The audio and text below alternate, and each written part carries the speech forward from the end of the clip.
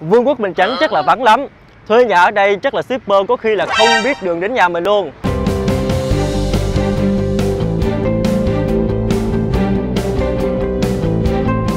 Xin chào các bạn, mình là Trí Khang đến từ chương trình Thuê nhà không khó bất động sản.com.vn thực hiện. Và ngày hôm nay thì chúng ta sẽ cùng nhau kiểm chứng xem là thuê nhà ở Bình Chánh thì có heo hút vắng vẻ hay là giá thuê nhà thì sẽ như thế nào. Ngay bây giờ chúng ta sẽ cùng nhau tham quan một số nhà cho thuê tại khu vực Bình Chánh nha và nghe đến Vương quốc Bình Chánh hẳn mọi người nghĩ là rất là xa trung tâm thành phố đúng không? Thực ra thì Bình Chánh cũng thờ xa thật vì cách trung tâm thành phố đến tận 15 đến 16 km. Tuy nhiên, từ đây hoàn toàn có thể đi đến quận 7 này, Nhà Bè, quận 8, Hóc Môn, Bình Tân qua các đường liên quận và cầu. Từ Bình Chánh thì đi tỉnh Long An rất là gần, qua quốc lộ 1A và cao tốc Trung Lương. Huyện Bình Chánh chỉ mới được đầu tư gần đây nhưng đã phát triển nhanh đến mức đáng kinh ngạc. Hầu như là mọi tiện ích cho đời sống đều đã có đầy đủ tại đây từ trường học này rồi siêu thị lớn và Bình Chánh cũng có các cơ sở 2 của các bệnh viện lớn của thành phố nữa. Đường xá ở huyện Bình Chánh phần lớn là đường nhỏ, sạch đẹp và nhiều đường liên quận, quốc lộ, tỉnh lộ như là quốc lộ 1A, quốc lộ 50, tỉnh lộ 10, đường Nguyễn Văn Linh, cao tốc Trung Lương, cao tốc Tân Tạo, chợ đêm, chỉ có những quốc lộ cao tốc thì mới có kẹt xe vào những ngày cuối tuần hay là ngày lễ thôi nha. Theo dữ liệu của bất động sản.com.vn, hiện có 15 chung cư đang thuê tại Bình Chánh với hơn 350 tin đăng, hơn 20 căn phòng trọ và căn hộ dịch vụ và hơn 50 nhà riêng cho thuê tập trung nhiều ở các xã Phong Phú, Bình Hưng, Hưng Long và thị trấn Tân Túc. So với năm 2022 thì giá thuê nhà trung bình tại Bình Chánh đang giảm ở hai loại hình, nhà riêng và phòng trọ, tương ứng là 12% và 3%, chỉ có giá thuê trung bình chung cư tăng nhẹ là 4%. Với loại hình chung cư thị trấn Tân Túc đang có giá thuê trung bình cao nhất là 6 triệu trên một tháng. Với loại hình nhà trọ, phòng trọ, căn hộ dịch vụ thì thị xã Bình Chánh đang có mức giá thuê trung bình cao nhất là 2 triệu trên một tháng. Còn xã Phạm Văn Hai đang có mức giá thuê trung bình thấp nhất là 1 triệu một tháng.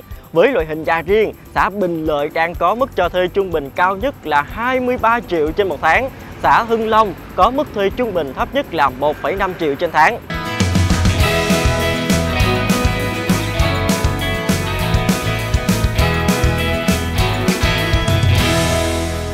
Còn ngay bây giờ thì chúng ta sẽ cùng nhau khảo sát giá của ba khu vực chính tập trung nhiều nhà cho thuê tại khu vực Bình Chánh. Khu công nghiệp Vĩnh Lộc A và khu công nghiệp Lê Minh Xuân đã làm thay đổi bộ mặt của khu vực này bởi vì với hàng trăm công ty và công nhân làm việc tại đây đã kéo theo sự xuất hiện của những khu dân cư đông đúc. Vậy thì giá nhà thuê ở đây sẽ ra sao? Khu vực Vĩnh Lộc bao gồm các xã Vĩnh Lộc A, Vĩnh Lộc B, Phạm Văn Hai, Bình Lợi, Lê Minh Xuân. Đây là khu vực khá là rộng lớn, trải dài theo quận Tân Phú, huyện Hóc Môn và giáp Long An với hai khu công nghiệp, khu công nghiệp Lê Minh Xuân, khu công nghiệp Vĩnh Lộc A nằm ở giáp với quận Bình Tân. Xung quanh hai khu công nghiệp này là những khu dân cư hoặc là chung cư lâu đời lẫn mới nên là có rất nhiều tiện ích. Tuy nhiên, hầu hết tập trung ở giải dọc theo quận Bình Tân và huyện Hóc Môn. Ở xã Vĩnh Lộc A, Vĩnh Lộc B, khu công nghiệp Lê Minh Xuân, dọc đường Thế Lữ, phía giáp Long An còn nhiều đồng ruộng, đồng cỏ. Ngoài ra từ đây đến các tiện ích lớn quanh Hóc Môn, Tân Phú cũng rất là gần. Với nhà trọ, phòng trọ thì ở đây hầu hết là phòng trọ truyền thống trong các dãy trọ hoặc là nhà dân. Giá khá là rẻ, chỉ 1 cho đến là 1,9 triệu trên một tháng. Tập trung gần khu công nghiệp Vĩnh Lộc B, Lê Minh Xuân và xã Phạm Văn Hai.